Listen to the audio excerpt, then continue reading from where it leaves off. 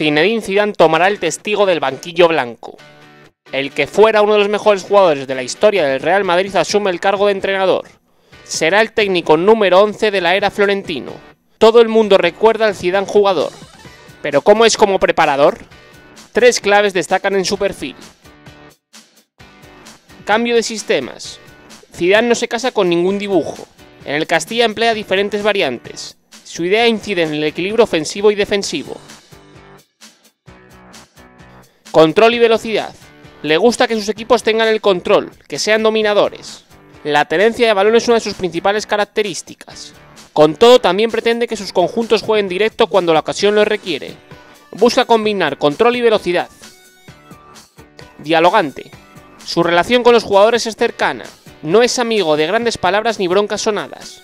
Destaca por su naturalidad. Haber sido una figura en el césped le ayuda a tener ascendencia sobre los futbolistas. Cuando era el segundo de Ancelotti, cuajó una gran relación con los integrantes de la primera plantilla blanca. Ahora Zidane toma la alternativa. El futbolista legendario que también quiere triunfar en el banquillo.